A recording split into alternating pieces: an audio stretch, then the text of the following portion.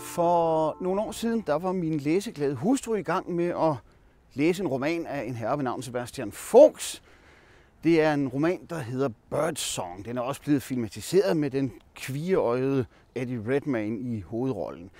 Og hun spurgte mig på et tidspunkt, hvorfor hedder den egentlig Birdsong? Den foregår under Første verdenskrig, men der bliver ikke rigtig snakket noget om pipfugle undervejs.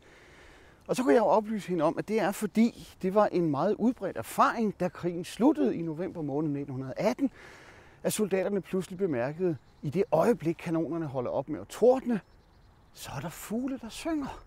Selv efter fire års intens artillerikrig, er der fugle, der synger.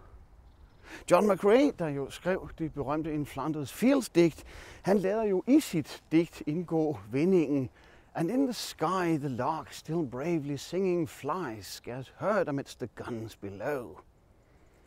Altså, at man ser stadigvæk lærkerne blaffer rundt oppe i himlen, selvom kanonerne buller løs nedenunder. Så der har altså været gevaldig larm.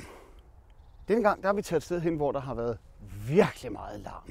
Vi er nemlig taget til Belgien, vi er i Flandern, vi er lidt syd for Ypres, i den sydlige ende af Ypres Udprosningen, Vi står på toppen af en jordknold, der hedder Hill 60 eller Bakketop 60.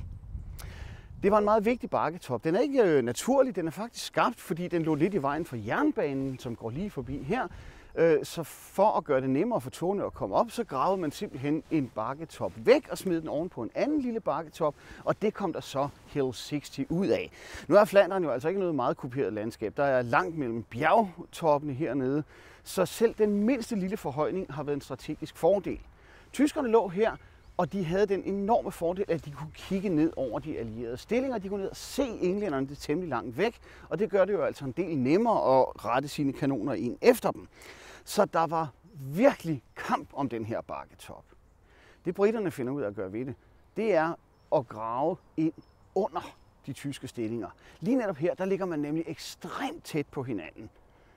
Jeg står her med et optryk af et øh, stabskort, som britterne brugte, hvor vi kan se, at den engelske frontlinje, den blå streg, og de tyske linjer, de røde markeringer, de ligger sindssygt tæt på hinanden. Det er jo lige her, øh, bakke top 60 ligger. Så det har altså ikke været ret langt, man skulle grave ind. Man havde øh, minefolk med.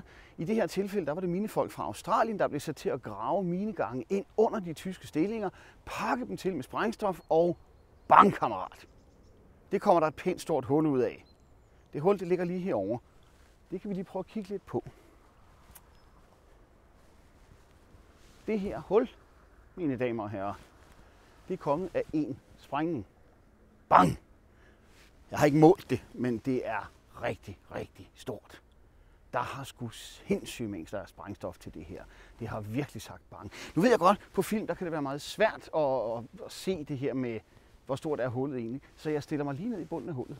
Og nu står jeg så her nede i bunden af hullet, så kan man måske lidt bedre se, hvor stort det her hul i virkeligheden er. Men det er lidt langt væk, jeg kan næsten ikke se jer, så jeg kommer op igen. Se, øh, der er gennem tiden lavet en forfærdelig masse film om Første Verdenskrig. Og øh, i nogle tilfælde, så er det en masse forfærdelige film, der er lavet om Første Verdenskrig. Nogle af dem er blevet vanvittigt populære. De er ikke alle sammen dårlige, men der er, alle sammen, der er altid fejl på dem på en eller anden måde. Nogle af dem er blevet vanvittigt populære. War Horse 1917. Jeg deler ikke helt den her begejstring. Jeg synes altid, der er et eller andet, der er galt. Noget, som er forkert. Noget, som kunne have været bedre. Men der er én film, der er faktisk et par stykker, men en af de film, som er virkelig, virkelig gode, hvis man vil have en fornemmelse af Første Verdenskrig, det er en australsk film, der simpelthen hedder Hill 60. Nej, faktisk hedder den Beneath Hill 60, under bakketop 60. Det er en film, der blev lavet for nogle år siden af Australier, som handler om de australske tunnelgraver, der lavede det her halløj med at grave ind under og lægge miner og detonerer osv. Og jeg har sjældent haft en så autentisk oplevelse af, hvordan det her har været. Når man ser den film, så kan man virkelig forstå den der klaustrofobi, der ligger i at kravle rundt i gange, der er 70 cm høje, 20 meter under jordens overflade, mens det buller løs om ørerne på en. Så hvis man mangler et godt, ikke et behageligt, ikke et rart, men et godt og virkelig autentisk, fiktivt indblik i, hvordan Første Verdenskrig også kunne opleves, så er Beneath 60 en rigtig god anbefaling.